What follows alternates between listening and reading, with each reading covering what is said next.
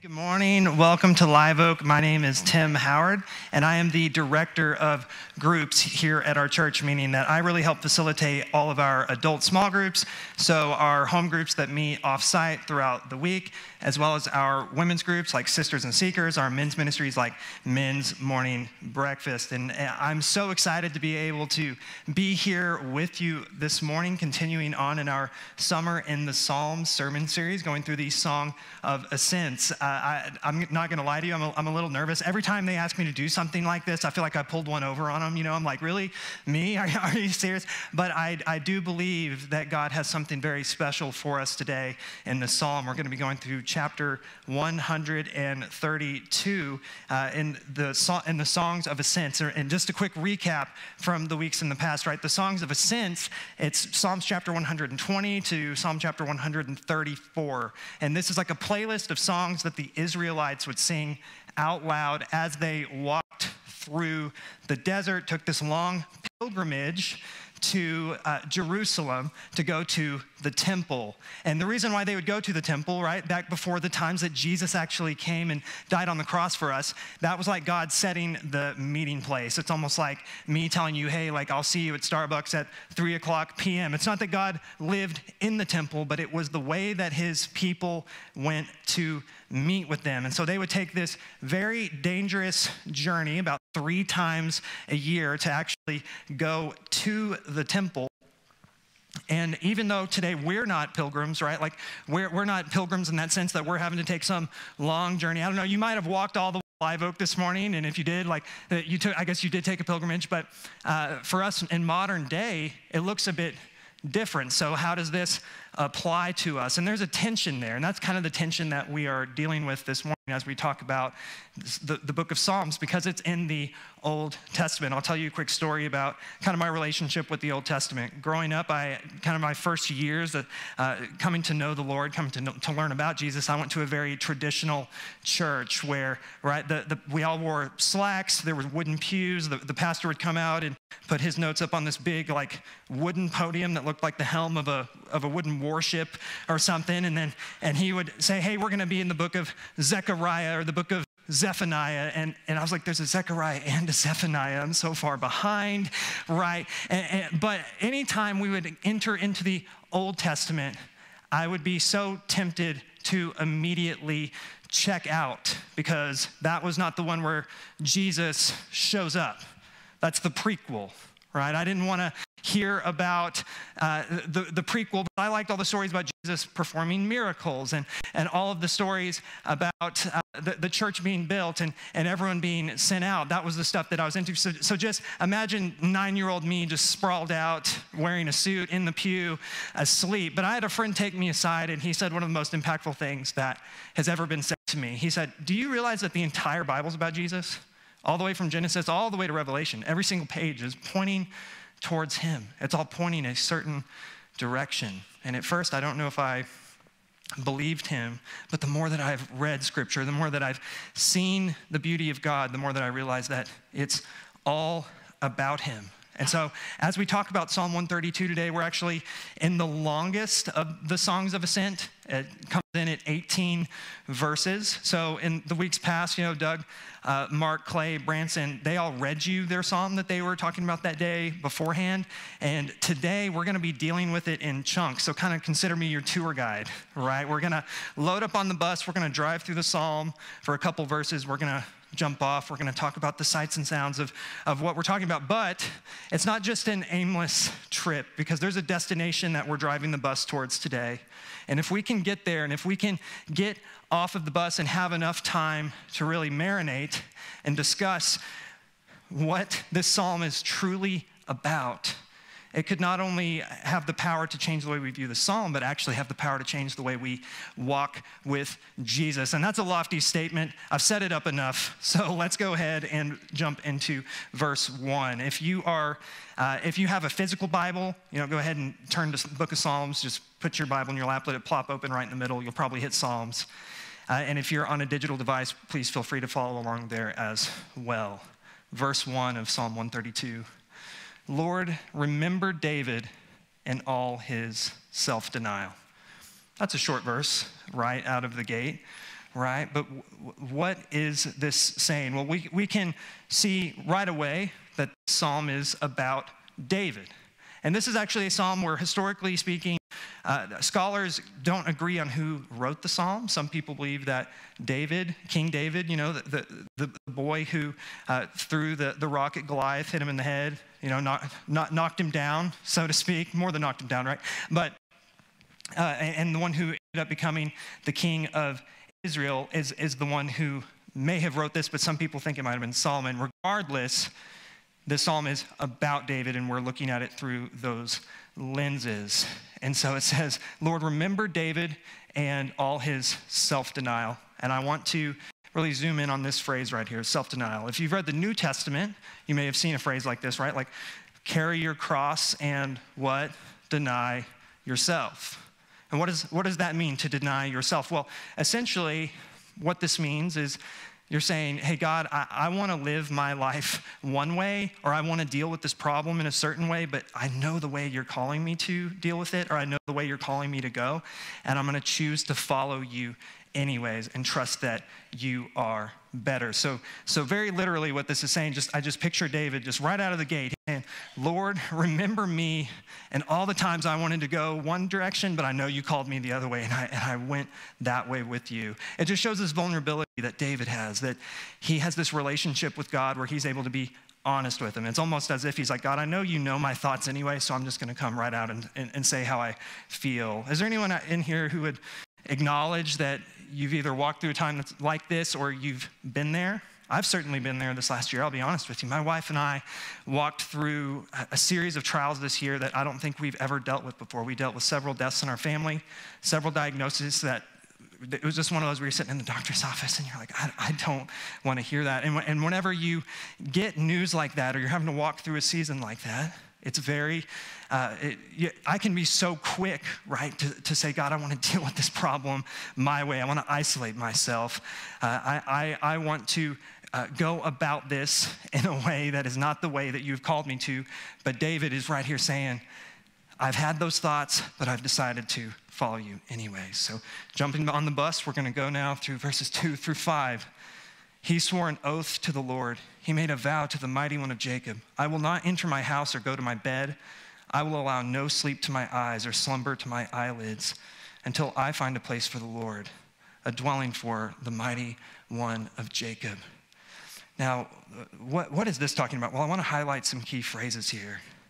He, talking about David, did what? He swore an oath to the Lord. He made a vow. He says, I will not enter my house or go to my bed and I will allow no sleep to my eyes.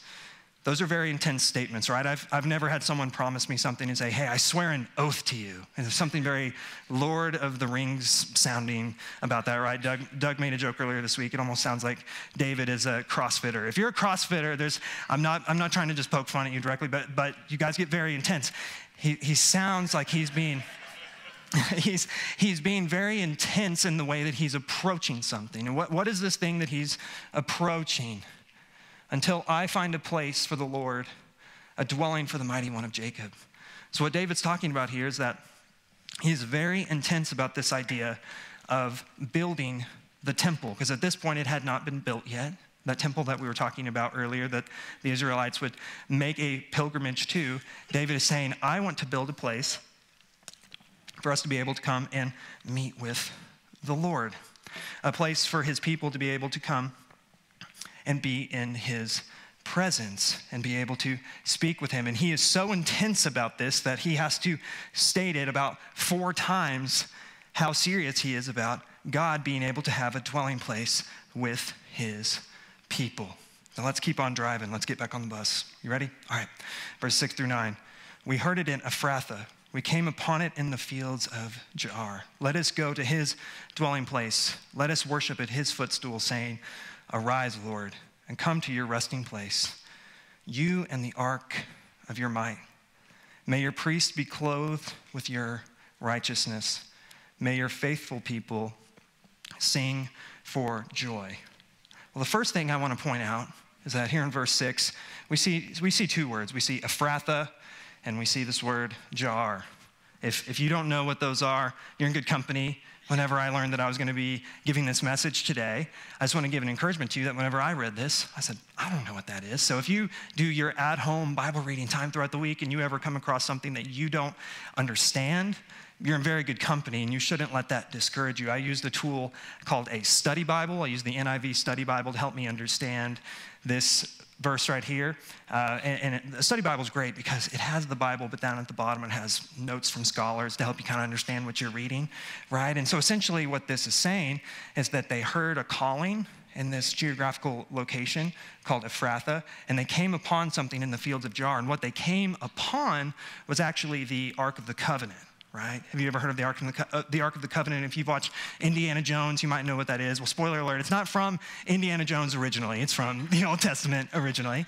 And it was this gold box that they would put the Ten Commandments in, that they would carry around, and it was God's message to his people. And at some point in history, it had actually been lost from the people of Israel. They no longer had it, but they actually came back in possession of it. So here in verse 8, whenever David says, Arise, Lord, and come to your resting place, you in the ark of your might. It's almost like David is inviting the Lord. He's saying, Hey, God, would you, would you, would you come and be close to your people? Would you please come, just like we came upon the Ark of the Covenant and it's now back with your people? Would you come and meet with us too? You just see another glimpse of David's heart in that way. So now we're going to keep on going through the psalm back on the bus. All right. For the sake of your servant David, do not reject your anointed one. The Lord swore an oath to David, a sure oath he will not revoke. One of your own descendants I will place on your throne. If your sons keep my covenant and the statutes I teach them, then their sons will sit on your throne forever and ever. And I, I love this section right here in the Psalms because it's right, right here in verse 11. David is telling the Lord, hey, the Lord swore an oath to David, or the Lord swore, swore an oath to me, a sure oath he will not revoke. And it's, it's funny because I just have this picture in my head of David. It's, you know, we saw a couple sections earlier that he was, you know, telling God, hey, I made you a promise. God, I made you a promise. I'm going to build the temple. But he has this relationship with the Lord that's close enough that he can go, hey, hey, hey, but you made a promise to me too.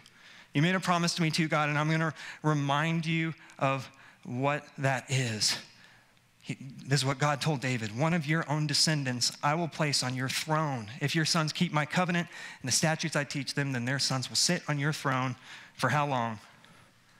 Forever and ever. Right? And so, looking at this promise, we can tell that there's going to be the sons of the sons of the sons of David, his, his lineage. God's promising David will sit on the throne of Israel. And at first glance, that's, that's really what we get from this psalm. It doesn't say much else about that promise besides that. But a little bit later on in the Bible, we're going to jump to another section in Scripture. We're going to jump over to the book of Jeremiah. It's a little bit further on in the Old Testament. It was actually written after, but right here in Jeremiah 23, verses 5 through 6, it actually expands upon that promise. It gives us a little more insight into what that promise was about. And here's what it says from the book of Jeremiah The days are coming, declares the Lord, when I will raise up for David a righteous branch, a king who will reign wisely and do what is just and right in the land. In his days, Judah will be saved, and Israel will live in safety. This is the name by which he will be called. What will he be called? The Lord, our righteous Savior, all capital letters, so a proper name. So, what we get from this is we actually learn that it's not going to be just descendants, but there's going to be a descendant who's going to be called the Lord, our righteous Savior, right? He comes from the branch of David, he comes from his family tree, who's going to sit on the throne, and he is going to bring his people into safety and reign wisely. Remember earlier how I kind of talked a little bit about how the Old Testament points a certain direction? Let's keep that in mind. Back on the bus in Psalm chapter 132, verse 13 For the Lord has chosen Zion, He has desired it for His dwelling, saying, This is my resting place forever and ever. I love these two verses. I love these two verses so much. At first glance, it's kind of like, well, what are they about? Well, I love this because what God is telling his people is he's saying, hey, I've, uh, I've actually chosen you guys. I've actually chosen you as my people. Why? Why? How come? I love what it says. He has desired it. I don't know about you, but I think sometimes in my relationship with Jesus, I, I view whenever I got saved as almost kind of a begrudging event.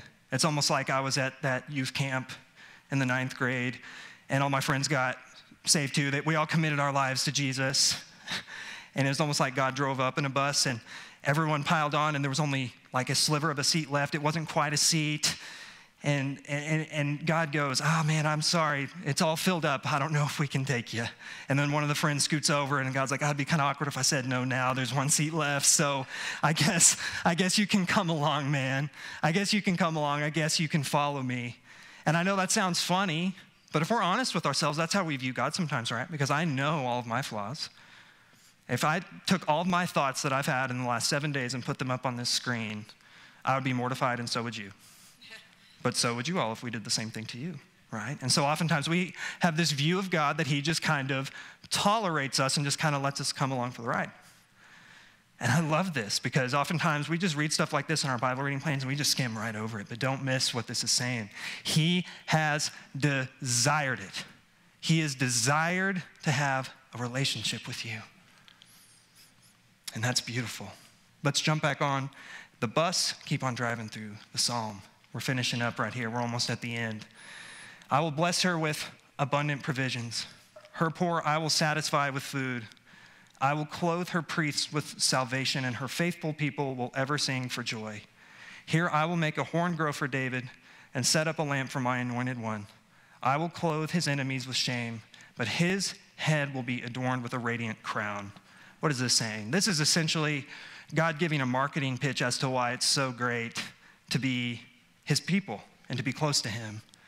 Right, he says, I'm going to bless you with abundant provisions. Her poor I will satisfy with food. So they're going to have everything they need in a physical sense, as well as their souls are satisfied. It says, I will clothe her priest with salvation. Her faithful people will ever sing for joy. I will make a horn grow for David, set up a lamp for my anointed one. I'll clothe his enemies with shame, but his head will ever be adorned with a radiant crown. That sounds pretty good, right? I mean, that's, that's a, a, pretty good marketing pitch to follow the Lord. I mean, I want to have everything I need. I want to be saved. I want to sing for joy. I want to wear a crown. And so, this is God just telling his people hey, if you follow me, if you come and be my people, this is what you can expect.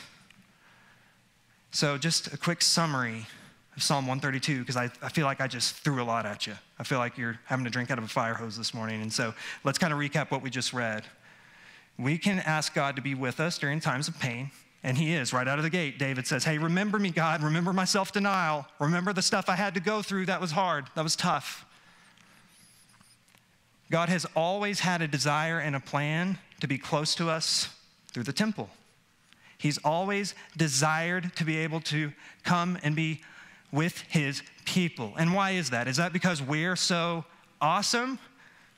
Well, as we've established, if I don't know about you, if I were to put my thoughts up on the screen, I would say, I'm not that awesome, right? So it's not that we brought so much to the table, it's just that He is that merciful and kind that He desires to come and be with us. And third thing, God promised to put a king on the throne who was a descendant of David. And so, here's a question we're going to talk about today Why does any of this matter, right? We could pack up now, right? I could be like, hey, we got to the 18th verse. You guys go on to brunch, go on to Roses, wherever it is you're going after this. Let's call it a day. But there's something so much more in the psalm that, if in the context of Scripture, that if we just zoom right by it, we're going to miss in this modern day what is so incredible about it. And a lot of you guys in this room might know where I'm going, but I'm going to press into it anyways that that promised king came, right? That king that was alluded to in Psalm 132 talked about in the book of Jeremiah. There's also other places in the Bible, like Isaiah, where it talks about this king. He came and he entered our world. He was 100% man, but he was also 100% God. He's the creator all the way from Genesis, very literally stepping into our world in the flesh of a human. And he had to live our life and go through the exact same thing that we went through all of the pain, all the sorrow, the highs and the lows. He experienced it all, but he did it without ever sinning. He never sinned. He never even had a wrong thought. If we put every single one of his thoughts up on the screen, not a single time he would have ever thought something that we would say, wow, that was shameful, right? He lived a perfect life, but in the end, he was punished for all of the things we had done. And he took all of that punishment on the cross, died a death that we cannot even imagine, was buried, but three days later rose again. And he's alive to this day, and he sits on the throne to this day. And we've heard that story. Hopefully, you have several times. If you've never heard that story, I'm so glad you're here this morning. But it can become routine for us. And one of the things that I love about the Bible is that it always backs up its own claims, or it goes out of its way to. And so, whenever it says, hey, that, that king from Psalm 132, he's here now, he's on the scene. It doesn't just claim that he's the king, it, it goes out of its way to show us. So let's take a look. Right out of the gate at the very beginning of the New Testament. This is a lot of verses. Don't worry, I see some of your eyes are like, is he going to read all of that? I'm not reading all of it. But I just want to show you something really cool. I want to show you something so cool. At the very beginning of Matthew, if you've ever read Matthew, you might have just skipped over this part. I did a couple times, I'll admit it, because I don't like the part necessarily where it's the son of so and so is the son of so and so, so and so's father, who's the son of so and so. I find that part kind of boring, so I'll just skip it.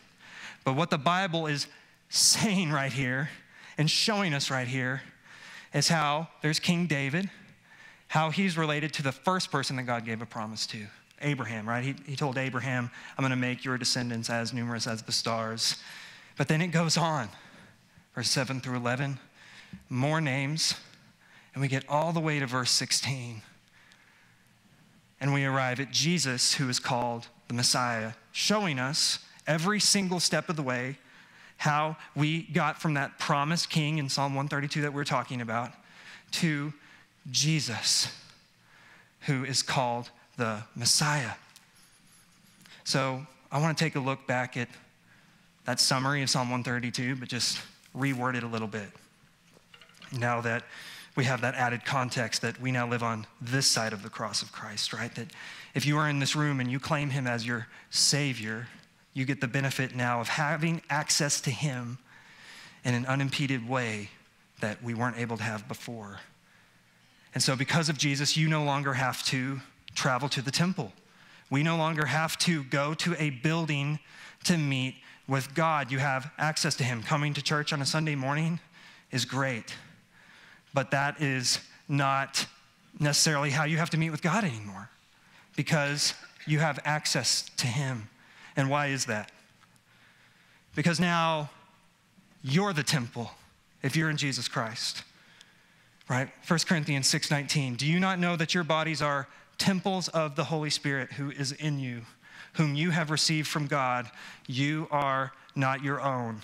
I've seen this verse so many times and I've always applied it to health related things, right? I'll say, I can't have that extra piece of pizza, my body's a temple, right?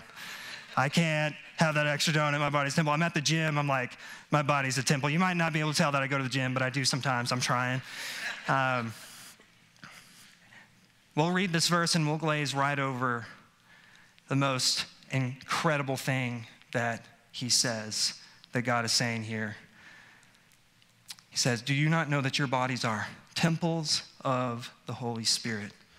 That temple that we talked about, that all the Israelites would make a pilgrimage to, they would go through the desert. They would walk for days and days and days on this dangerous journey to get to the temple so that they could meet with God. You are now called a temple of the Holy Spirit. The Spirit of the Almighty, one God, now lives inside of you.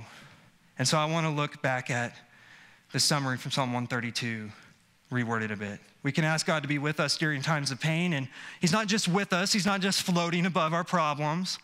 Why? Because He went into the muck and mire of our problems too. Jesus understands. He understands where you're at. He empathizes with where you're at, and that Holy Spirit of Jesus now lives in you. God has always desired to be close to us, but He didn't just desire to be close to us, He made a way. He sent His Son to come and live the perfect life that we couldn't live and be punished for the things that were ours to be punished for. But because of that, we now have access to him. And so, third, the promised king has come, and his promise is offered to you. The promised king from Psalm 132 has come, and his promise to sit on the throne forever and ever and bring safety to his people, to bring salvation to his people, to bring joy to his people is now offered to you. If you are in Christ, it is not just a get into heaven ticket free card. It applies to you on this side of heaven as well. Your life matters. I'm going to speak directly to you in this room if you're a Christian for just a second. If you would claim Jesus Christ as your Savior, I'm going to speak directly to you. If you're in a place in your life right now, and I, and I get being there because I can often get there too, where you see your life as not super meaningful. You show up at your job, you wait till you clock out, you leave. You don't feel like maybe you're adding much to your family. If you were honest with yourself, you feel like your life is in the neutral gear. You don't feel like you bring much to the table, but you are in Christ. That is the biggest lie that you could believe. Because what's actually true is that you are a temple of the Holy Spirit. That temple that the Israelites would travel to, you are now taking with you everywhere you go because you are a temple of the Holy Spirit filled with the Spirit of God. So whenever you're with your coworkers, you're with your family, you're with your children, you're with, you're at the supermarket. You are a temple of the Holy Spirit going out into the world. So do not waste that opportunity to show the world and those around you the incredible riches of the God that we know. That all the wrong things that we've done, we no longer have to feel guilt and shame for. And now we have the privilege of being able to, as temples, point to Him and show the rest of the world how beautiful He is do not forget the meaning of your life. Do not forget how meaningful your story is. You're on a pilgrimage too. You are on your own journey. Do not forget how meaningful it is to be a temple of the Holy Spirit. This plan has been in motion for thousands and thousands of years. It's actually, the Bible even says, is before the foundation of the world, this plan has been in motion to bring you into his family. Do not take it for granted. The last thing I want to do today is I want to talk directly to you if you're in this room and you would not claim that Jesus Christ is your Savior, meaning that you are in a place where you don't know what you think about all of this. And that's on a spectrum, right? Like you could be in a place where you're here and you're, you're just trying to figure this whole thing out. You're, you're here because you're just trying to figure out uh, what this whole Jesus thing is about. Or you're on the other end of the spectrum. Maybe everything I've said today you are actively against, and my words might even be making you a little bit angry. And I'm glad if you're here, if that's you, I'm so glad you're here this morning because I want to ask you a simple question. Just entertain with me for a minute that this is our God and He is real, and that He not only just is with us during times of pain, but that He understands. He's a God who's empathetic to you. He's a God who has made a way for you. He doesn't just desire for you to be close, but He went out of His way to go that extra mile and make a way for you. And the third, He's a king who follows through on his promises. His words are not empty. He's promised to a way to bring you into his family, and he made that way. If this is true about our God, my final question to you is why would you not follow him? His love is so good. And he desires for you deeply to be in his family, to come along on your own pilgrimage with him. Let's pray. Lord Jesus, thank you so much for Psalm 132 and what it says about your promise. Thank you so much that you sent Jesus to be the king who sits on the throne, the promised king. Thank you so much that we no longer have to travel to the temple because we are the temple. Let us go out among our people this week that we are in the context of and be the temple to them. Point them to you. Bring your presence with us in the rooms that we enter. I ask God, no matter where we're at on our journey with you, that this week you would just see so, seem so undeniably attractive to give our lives to because we see that you're a God who follows through on his promises and has always desired to make a way. In your name we pray. Amen. Thank you all so much for being with us this morning. We have our Bible reading plan. You can access that on the app, website, and digital bulletin. Look for it under Sunday resources. I'm going to be down here after the service if you'd like to come say hi or ask me any questions. Thank you all so much. Hope you have a great day.